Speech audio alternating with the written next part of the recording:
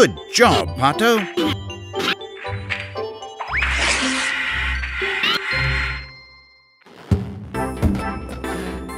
Oh my, you're balloons now.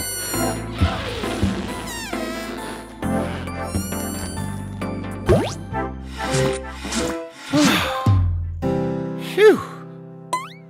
You're back home, guys. You didn't leave anything behind, did you?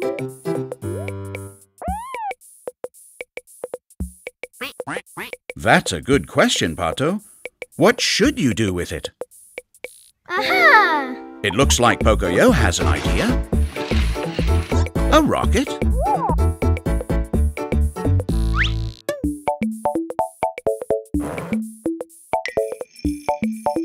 Oh, I see.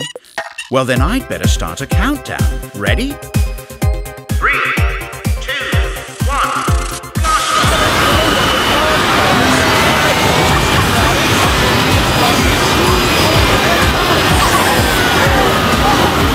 Well,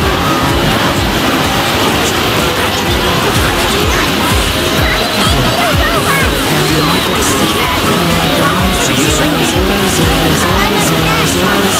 you